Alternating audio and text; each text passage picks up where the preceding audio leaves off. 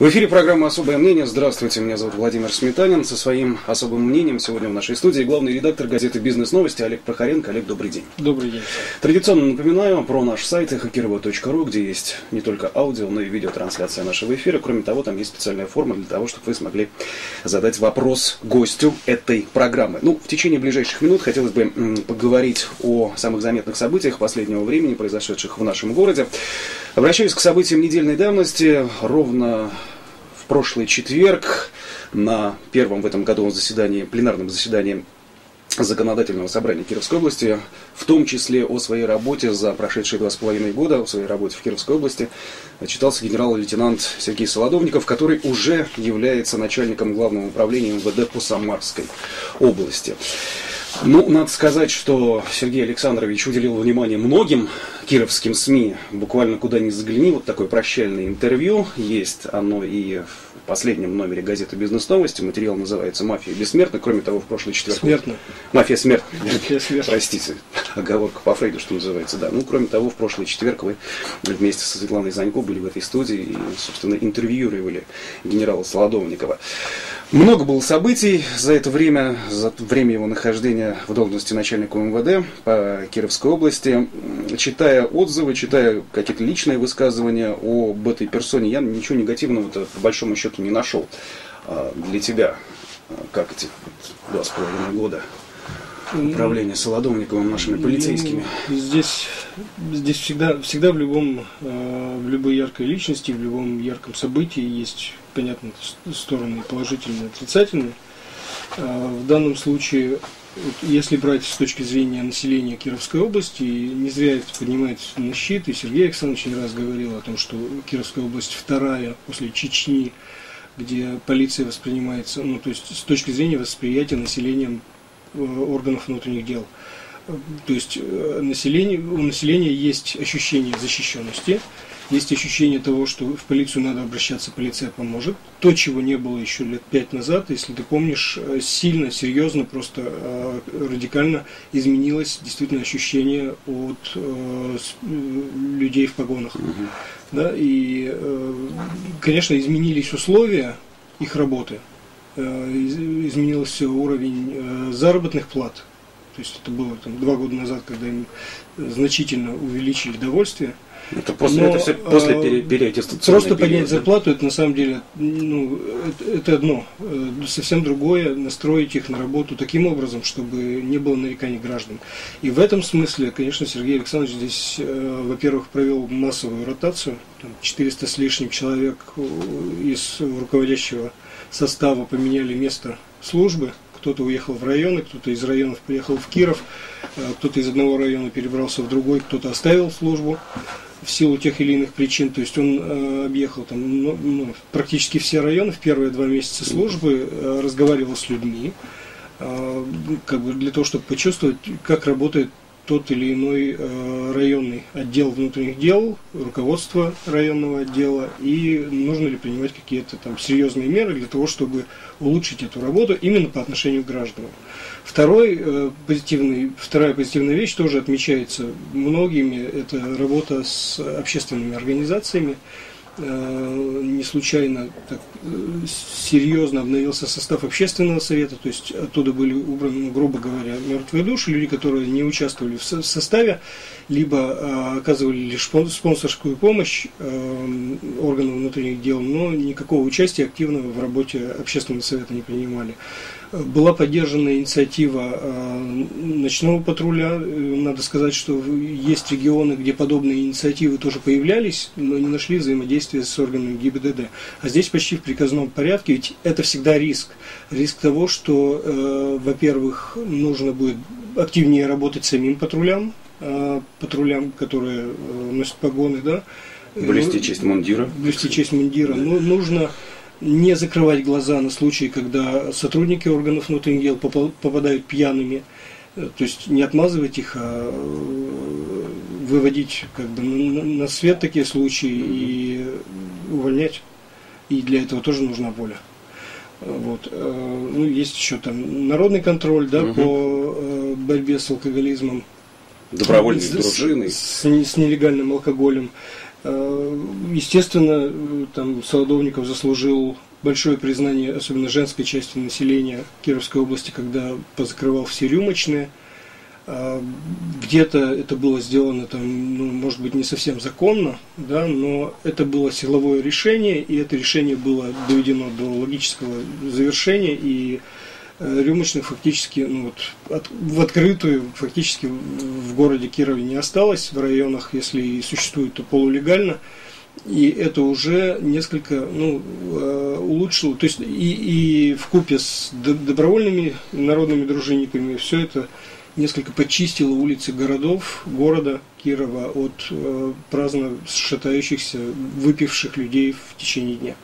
Ну, то есть вот какие-то меры, которые общество восприняло и аплодировало буквально Сергею Александровичу. В то же время есть э, вещи, которые, на мой взгляд, э, были ну, не совсем корректными. Это э, при огромном количестве э, уголовных дел, которые возбуждались, особенно по фактам там, коррупционной, э, коррупционных проявлений, э, многие из них дошли до суда, и здесь э, Сергей Александрович позволял себе очень часто высказывать высказывания по поводу того или иного персонажа, что он является преступником еще до решения судебного. Да, хотя это делается по решению. Да, э, и э, брал на себя, ну, я задавал ему этот вопрос в эфире, как юрист, как э, ученый, да, юрист. Э, брал ну, как бы, на себя право оценивать э, то или иное решение и говорить судьям, что они неправы, хотя это ну, не совсем корректно. Да? Судья все равно это последняя инстанция, если суд не прав, его поправит там высшая инстанция судебная при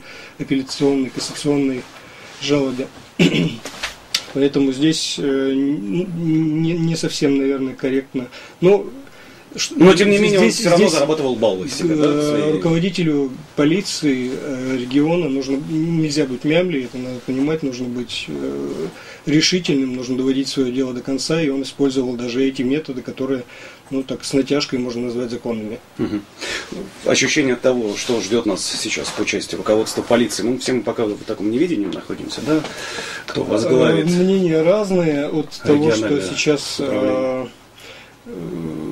загуляет изрядная, изрядная часть управленческого состава и расслабиться до того, что э, все-таки сохранится вот этот вот настрой и преемник просто он подхватит это знамя и вынужден будет так или иначе ну, по крайней мере, быть не, не слабее и продолжать то, что начато было при Солодовникове, mm-hmm. вести дальше. Ну, вот многие, да, там э, на, очень, на очень... Житинева ссылаются да, еще, Да, он, он назвал Житинева, органы... генерал Житинева, руководитель Следственного комитета по Кировской области, управления следственного, э, как э, своего преемника в плане завершения вот тех громких уголовных дел, mm-hmm. и в частности по Прокоповским, которые были mm-hmm. возбуждены еще при Солодовнике. Ну, буквально последние, так сказать, дни его пребывания на посту начальника МВД, да.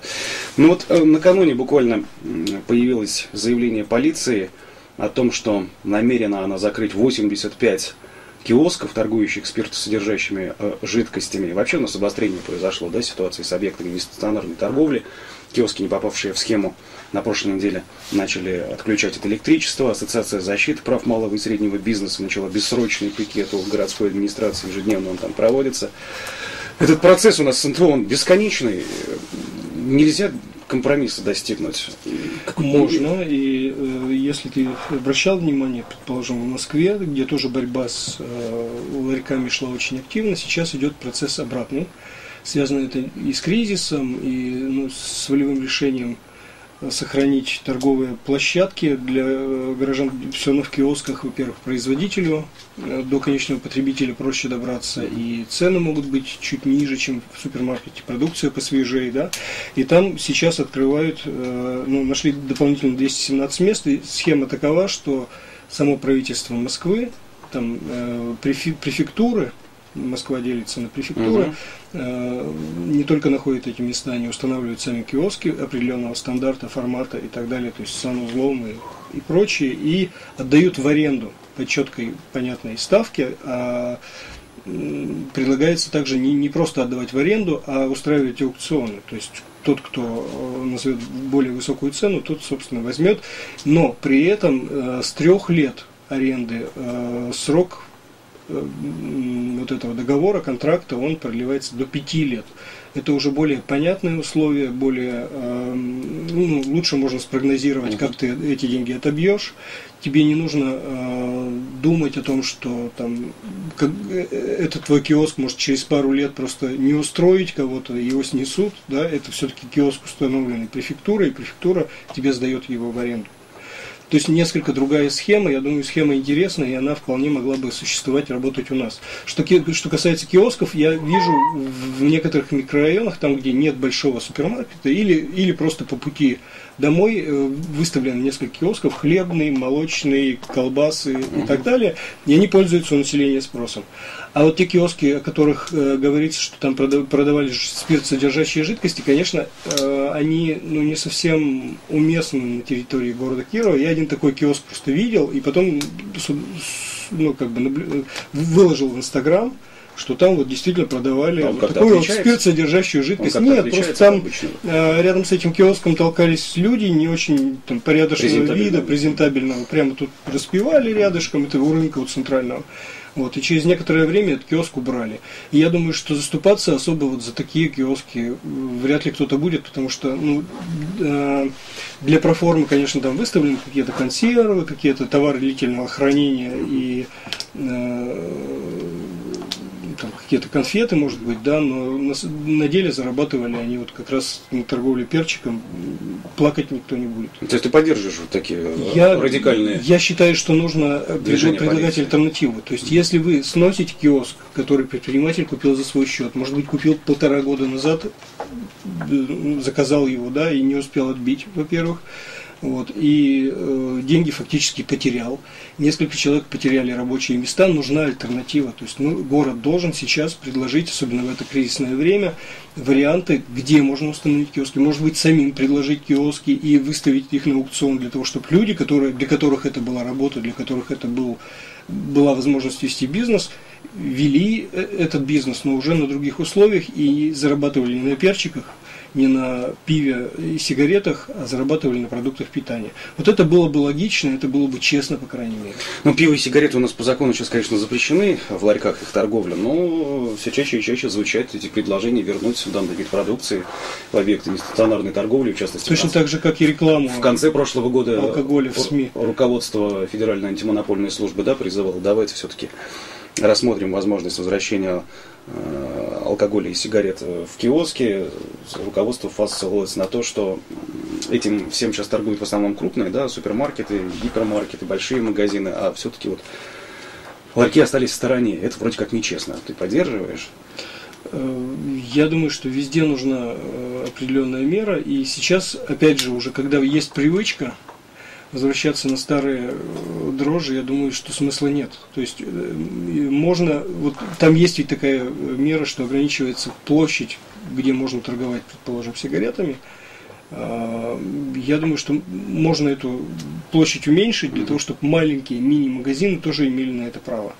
А, в то же время там в киосках продавать сигареты, продавать алкоголь, наверное, ну, не очень хорошо, не очень уместно. Все-таки это ну, киоск в том понимании, в котором, э, в котором у нас mm-hmm. оно есть. Потому что киоски, предположим, видел в Германии, в Норвегии, это совершенно другое. Это именно мини-магазинчики, встроенные в дом, и там все это спокойно, все, всем этим спокойно можно торговать. Тем более, сейчас э, есть определенные ограничения на выкладку пока по сигаретам, но обсуждается и по алкоголю, что э, будет закрыто от, э, от, глаз. От, от глаз детей, да, и в таком варианте, ну почему бы нет. Ну, кстати, вот по поводу табачных продукций, по табачной продукции уже известная инициатива сенатора от Кировской области Олега Казаковцева, и сегодня он ходил с нами на связь в, в рамках дневного разворота, он предложил разрешить сельским администрациям самостоятельно все-таки определять расстояние от школы до магазина, где торгуют табачный, табачными изделиями. 100 метров, по его мнению, для компактного населенного пункта, где, ну, всем прекрасно знаем, все рядышком, то есть все в центре, и магазин, там, я, школа. Я, я слышал об этом инициативе, не думаю, да. что Олег Александрович каким-то образом там, э, лоббирует интересы табачных концернов, э, что вряд ли. Скорее, скорее что интересы там, каких-нибудь облпотребсоюза и райповских магазинчиков, которые действительно серьезно проиграли в конкуренции там ведь магазин не перенесешь в деревне, да, и если э, ты не, не можешь торговать там определенными категориями востребованных товаров, то ты начинаешь проигрывать и вообще терять прибыль. Угу. А магазины эти и так многие на грани рентабельности, многие там за гранью рентабельности. Фактически мы можем прийти к тому, что малые населенные пункты останутся без э, торговли. Вот. И, и с этой точки зрения это меняемая, наверное, инициатива. Э, тем более, что сейчас как я уже говорил, табак ограничен, вот, э, ну, то есть спрятан должен быть в магазине. И есть жесткие ограничения по продаже табачных изделий там, школьникам и несовершеннолетним. Поэтому вполне можно было бы развернуть этот процесс и учесть э, интересы как раз малых населенных пунктов, где с магазинами всегда была проблема. Ну, вот э, Олег Александрович в комментариях по этому поводу приводит цифру потери прибыли этих сельских небольших магазинов от 10 до 30 процентов, она вызывает какое-то сомнение у меня а, чтобы 30% ну, на табаке, на табаке вряд ли, на алкоголе вполне возможно, они потеряли. Или все вместе, и табак, и алкоголь. Скорее, скорее всего, это все вместе. Да. Потому что алкоголь составляет очень серьезный процент от оборота. Во-первых, стоит недешево, во-вторых, еще и люди, ну, еще греха таить, они выпивают на селе. Если они лишаются э, легального алкоголя, ну, появляются люди, которые торгуют контрафактом или сам, самопальным алкоголем. Э, это неизбывно. Надо, надо просто делать все это в рамках закона и э, выстраивать так, чтобы, если, если уж человек употребляет, чтобы он употреблял напитки, которые, по крайней мере, проверены и за которые уплачен акцизный сбор.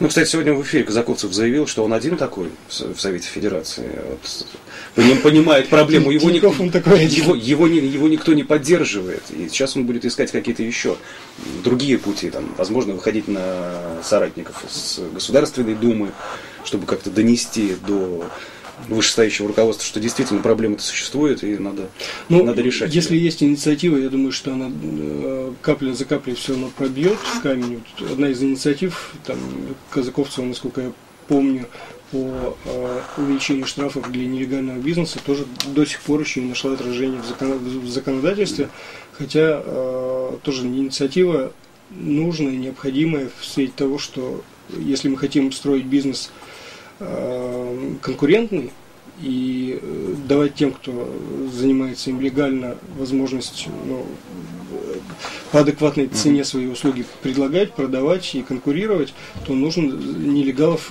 достаточно жестко пресекать. То, что сейчас, на сегодняшний день, сделать сложно или практически невозможно из тех разговоров, которые у меня были там, с представителями налоговой инспекции. То есть при, при том размере штрафов, которые существуют на сегодня, ну просто этим никто не будет заниматься, ни, ни полиция, ни налоговая. А, кстати, вот в последнее время, да, очень много в СМИ появляется публикации о том, вот такой-то предприниматель, да, не заплатил налоги, такой-то.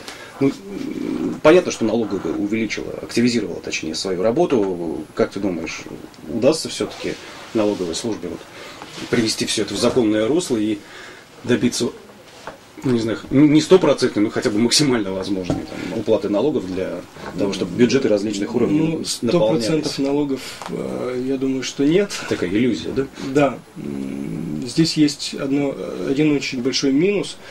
Э, посмотри сейчас э, многие крупные бизнесы и в отношении тех, кому налоговая предъявила претензии, а просто меняются инструменты, и тоже говорил уже как-то в эфире, что у налоговой просто появились измерители вполне как бы легальные, но просто программы, mm-hmm. да, которые тебе показывают, что вот это предприятие в зоне риска, оно платит налогов меньше, чем там, налогов с продаж меньше, чем э, у него обороты. Почему это сделано? Ну вот там схема дробления на, на ИП, и в результате получается очень большое недоначисление mm-hmm. по налогам. То же самое с НДС. То есть у налоговой появились инструменты, как вычислять недобросовестных налогоплательщиков. Они эти инструменты активно сейчас начинают применять.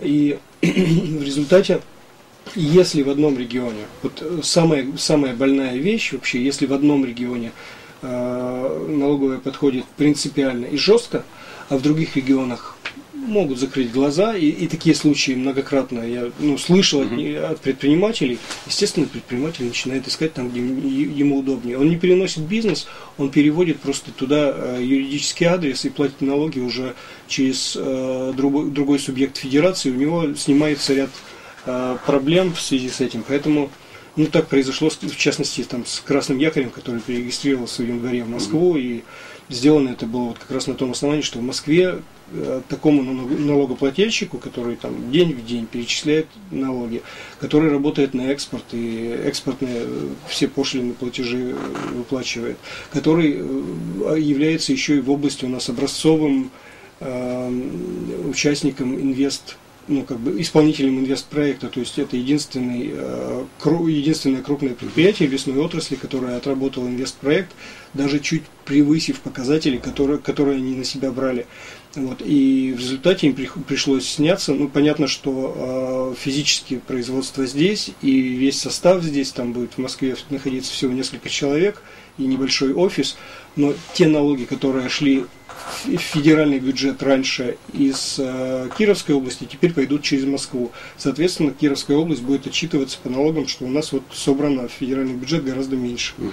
То есть палка о двух концах. Э, если в Москве э, на некоторые вещи могут закрыть, закрыть глаза или в других регионах, а у нас подходит жестко и принципиально, то крупный бизнес может сняться, уйти. Э, налоги в область будут поступать те же самые, фактически, там изменений немного в региональные, в э, местные бюджеты, но федеральный бюджет эти налоги будут идти уже через другие субъекты федерации. Соответственно, я думаю, что мы сможем рассчитывать на меньший объем субсидий из федерации. Нам скажут, ну вы заплатили ведь совсем немного. Угу.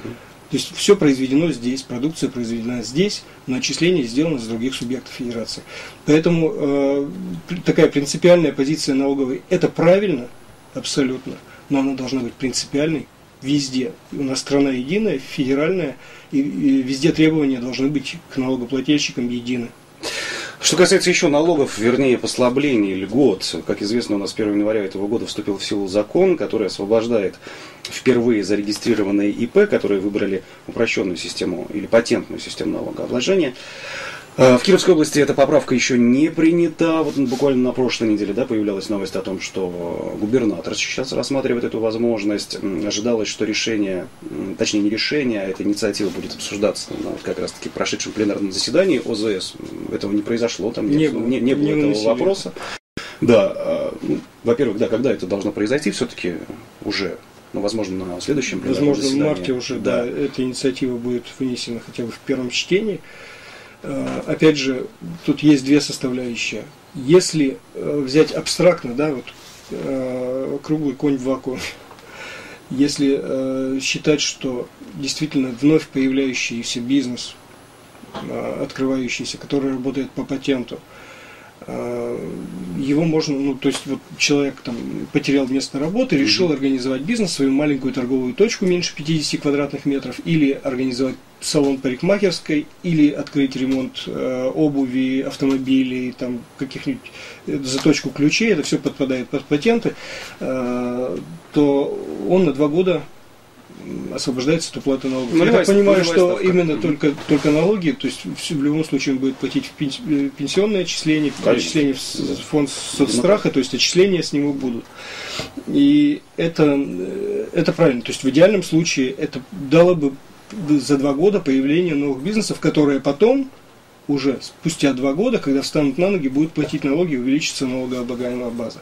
На деле это может обернуться тем, не говорю, что, ну то есть если недостаточно э, тщательно отслеживать, контролировать эти процессы, то существующий бизнес просто может свернуться, закрыться де, де юре, да, и открыться вновь, и получить эти преференции. И в результате мы потеряем налогооблагаемую базу на эти два года.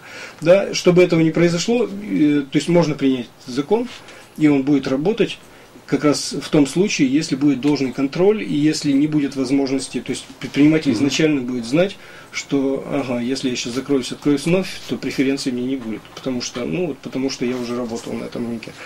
Вот, только в этом случае он будет работать. Э, кроме того, я, я нахожу аналогии очень хорошие с э, законом дачной амнистии, так называемый, который с 1 марта как раз прекращает свою деятельность, э, этот закон, если помнишь, давал право э, гражданам регистрировать свое недвижимое имущество, даже если оно построено без проектной документации. Э, для чего это делается? Для того, чтобы потом возможно было взимать налоги mm-hmm. с, с, с этого имущества, и человеку как бы давался режим максимального благоприятствования в регистрации прав на него. Точно так же и здесь. Фактически предпринимателям, которые сейчас уже осуществляют ту или иную деятельность, учителя, которые занимаются репетиторством, обладатели квартир, которые сдают эти квартиры в найм, они могут сейчас прийти, взять патент и не платить налог два года. Да, но спать спокойно, зная, что к ним не придут, зная, что с них не будут взимать штрафы. И вот как раз тот, э, э та инициатива, о которой я говорил, Олега Александровича Казаковцева, mm о том, что нужно увеличивать кратно э, штрафы за нелегальное ведение бизнеса, то есть незарегистрированный бизнес. Если бы это было в купе, то было бы, наверное, э, выгоднее человеку все-таки взять патент и два года работать э, там, без налогов, потом постепенно приходить к тому, что да, там, какие-то отчисления с меня должны быть, потому что я прибыль получаю. Вот.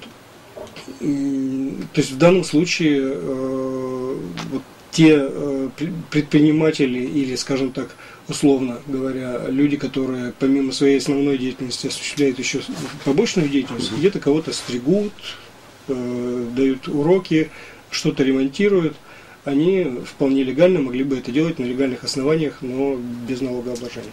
У нас сейчас небольшая реклама будет, пару минут буквально. После э, этого времени продолжится особое мнение главного редактора газеты «Бизнес-новости» Олега Прохоренко. Перерыв. Да, и сегодня это особое мнение Олега Прохоренко, главного редактора газеты «Бизнес-новости». Меня зовут Владимир Сметанин. Мы продолжаем. Теперь хотелось бы поговорить о ценах на продукты. Российское правительство рассматривает на протяжении последних недель возможность введения в регионах максимально возможных цен на продукты, которые подорожали за месяц более чем на 30%. Пока речь идет о сахаре, куриных яйцах и капусте. А вот буквально накануне стало известно, что сетевые магазины крупнейшие, такие как э, Магнит, X5 Retail Group, Dixie, Метро и другие, обратились в Федеральную антимонопольную службу. Они готовы заморозить цены на социально значимые продукты. А, не кажется ли тебе, что цены давно уже, а, если замораживать, то стоило замораживать, потому что вроде как основной пик, основной скачок прошел все-таки уже, да, судя по ценникам в продуктовых магазинах. Ну вот. Так... Ты правильно понимаешь, что мы говорим сейчас о продуктах питания? Да. А, так вот, я считаю, что ни в коем случае нельзя этого делать. Нельзя. Нельзя э, не ограничивать э, торговую надбавку и нельзя замораживать цены даже на социально значимые. Ну и реально, то есть я являюсь там сторонником рыночных отношений и считаю, что единственное, за что нужно биться государству просто в кровь, это в то, чтобы была конкурентная среда. Чтобы ни один из поставщиков, в первую очередь поставщиков оптовых, не выходил в монопольное положение, чтобы не было сговора между ними. И, и тогда э, ритейл это очень, особенно продуктовый ритейл, это очень конкурентная сфера. Есть помимо крупных игроков маленькие игроки, да, если они э, Э, являются в конкурентной среде, они сами не заинтересованы делать большую наценку и надбавку. А вот та цена, по которой они закупают у оптовиков, вот эта цена должна быть отрегулирована. Цена именно оптовых поставщиков, которые являются там, монополистами там, по гречке. Отрегулировано или заморожено все-таки тоже? Или вот, некий коридор должен быть? Нужно, нужно жестко смотреть э, на обоснованность повышения той или иной цены. Заморозка чревата еще знаешь чем? Э, замораживается ведь как вверх, так и вниз. Да. То есть если цены заморожены, ага, ритейлер потирает руки, цена упала на оптовом рынке, а я могу держать ее вот на таком уровне. Это глупость большая. И есть одна сфера, не одна, их много, но вот то, что касается продуктового ритейла, я считаю, что ни в коем случае нельзя. Там есть еще э, второй, второй подводный камень. Если цена будет заморожена и она будет неадекватна, да, если поставщики не будут готовы отпускать по такой цене, то этот товар просто с полок исчезнет. И мы снова столкнемся с дефицитом uh-huh. и с теневым рынком, где можно будет купить этот товар, но уже совершенно по другой заоблачной цене. Поэтому ни в коем случае нельзя. Вот то, что касается лекарств, там контроль должен быть гораздо жестче, и там должны быть ограничения на лекарственные средства, и вот в этой сфере нужно что-то что делать. Mm-hmm. Почему? Потому что сейчас э, разница огромна между аналогами российскими в ценах и импортными лекарствами. Не у всех импортных лекарств есть аналоги, и фактически там, э, ну, цен, цены, цены заоблачные, и часто даже э, те, те лекарства, которые в России производятся за рубли из российских комплектующих, вдруг выросли в, в цене там, в 5-10 раз, ну потому что вот, есть спрос на них, да, потому что импортные подорожали еще серьезнее. И вот за этим нужно следить. То есть это тот рынок, который я бы сказал, менее конкурентен, чем рынок продовольствия, но более социально э, необходим. И даже в ритейле, в продуктовом есть такая вещь, э, всегда э, за границей или у нас ли есть товары действительно социально значимые, на которые ритейлеры сами осознанно э, стараются удерживать цены пониже для того, чтобы к ним шли. То есть это правило рынка, они делают социальные цены, да, вот ценники там специальные, которые есть сейчас в магазинах. Человек клюет на эти акции, идет в магазин и покупает помимо э, товаров по акциям еще и товары там без акций, да, там с хорошей маржой. Поэтому э, человек, который э, хочет сэкономить и как бы ну, подешевле купить, он купит просто акционные товары, и ему этого будет достаточно. Он, он не будет заморачиваться по, по, по поводу там, дорогостоящей какой-нибудь колбасы, там, каких-то элитных сыров. Нет, он купит то, что подешевле, и, и, и будет достаточно, будет нормально. Ну, в этих условиях еще сложных экономических российские власти продолжают думать о том, как же снизить уровень коррупции в стране. Вот очередной законопроект появился, разработанный российским правительством, по которому госслужащему, который заявил о взятке, гарантироваться, гарантироваться будет вознаграждение в размере определенного процента. процента от вот суммы этой взятки, конфиденциальность его сообщения, защита, сохранение рабочего места, по-моему, в течение трех ближайших лет. Вот э, такие серьезные, умные меры э, в нашей действительности. У нас вообще иногда меры, меры принимаются умные. Это не первая умная мера, которая принимается. Есть э, там законопроекты по контролю за расходами, предположим, э, чиновников крупных. Но так э, я не слышал, что до конца они были доведены, и всегда находятся какие-то лазейки. То есть на любой э, закон находятся какие-то дырочки в этом законе, через которые э, истинные коррупционеры ускальзывают. На самом деле здесь важнее поменять психологию людей. Мы э, очень часто смеялись над тем, что происходит, опять же, там, ну, если брать Запад, э, где или США, и Задорнов постоянно высмеивает этих людей, которые там стучат на соседа, если там, не дай бог, кто-то разбушевался, там, приложил руку к своему ребенку и так далее. И вот это доносительство, у нас считается доносительством, стукачеством, и пока это считается доносительством и стукачеством, у нас э, люди никогда не пойдут и не заявят о том, что вот кто-то занимается нелегальным бизнесом у меня в соседней квартире. А что это я пойду? Я что, стукач? Вот, общественное мнение нужно менять. А таких законов, ну, их можно наштамповать и напридумывать кучу без изменения вообще представления о том, что человек должен э, сообщать о неприглядных каких-то поступках в соответствующие органы. Это все не будет работать. То есть э, можно предложить даже очень хорошее вознаграждение, но человек просто э, дорожа своей вот этой общественной репутацией, которая у нас порицает доносительство, да, он, он не пойдет. И даже если он не потеряет это рабочее место, отношение к нему можно себе представить, каким будет, да? То есть я, я работать-то буду, но, ну, но, но, но, но все будут заниматься ну, мобингом. Нет, заявляется, что конфиденциальность все-таки не будут знать коллеги, что именно ты настучал. Ой, ну это знаешь. Это, Или в кулуарах где-нибудь. В любом да, случае это где-то где просочится. Это нужно тогда подключать институт э, защиты свидетелей, который существует там э, в развитых странах, у нас только-только начинает еще развиваться, когда человек полностью меняет свою жизнь, внешность, место работы и место жительства, и в этом, в этом случае становится недосягаем для тех, на кого он настучал. Угу. Ну и в оставшиеся три минуты хотелось бы еще про молодежную общественную палату в Кировской области поговорить. Накануне стало известно, что этот орган возрождается. Сегодня руководитель общественной молодежной палаты Павел Дорофеев был в нашей студии, заявил о том, что он на свои деньги всю эту работу организует. Вот до 20 марта принимаются заявки, всего в молодежной общественной палате будет 30 человек. А, привел он э, в пример те решения, которые были реализованы, предложения молодежной общественной палаты, которые были реализованы, в частности, он сказал про вот ту беспроцентную субсидию на первоначальный взнос по ипотеке в размере 200 тысяч рублей. Это на самом деле было, оказывается, предложение молодежной общественной палаты, я, честно признаться, не знал. Я думаю, вот что, я думаю, что возрождение, опрашивали воз, членов молодежной В возрождении молодежной общественной палаты есть, на твой взгляд, какая-то социальная значимость? Я не вижу. Я не вижу почему, потому что э, вообще такие органы, они э, имеют место на существование, если они являются своего рода социальными лифтами.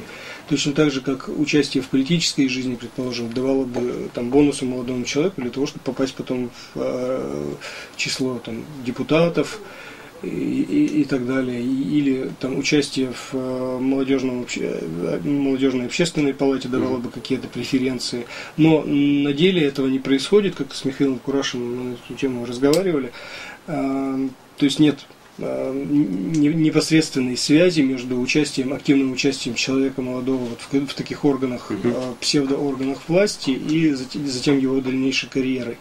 Э, намного эффективнее, намного важнее, на мой взгляд, участие в таких инициативах, как там ночной патруль или там уберем, не так давно было, чтобы это не от органов разгребем. власти, разгребем. разгребем. Чтобы от органов власти это шло, чтобы сами молодые люди, люди предлагали, объединялись активно и э, делали что-то конкретное. Да, посидеть, позаседать и подумать, ну, можно посидеть, позаседать и подумать. А эффект каков будет? Да, я вот в этой связи я не вижу эффекта ни для тех, кто участвует, ни для, собственно, общества.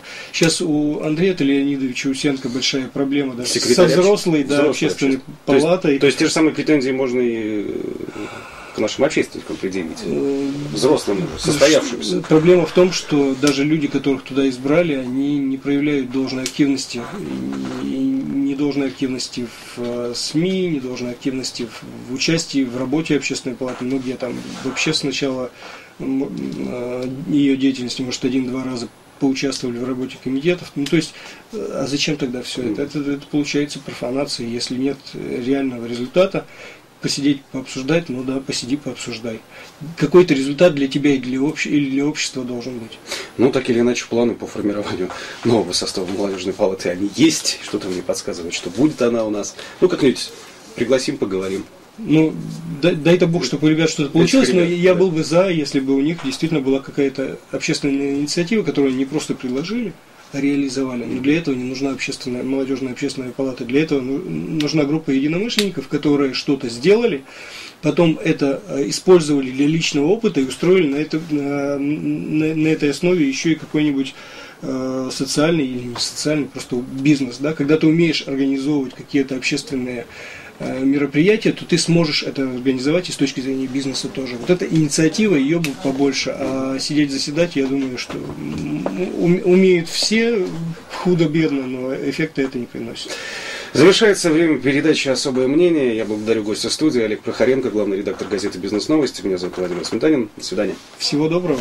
Хорошего дня.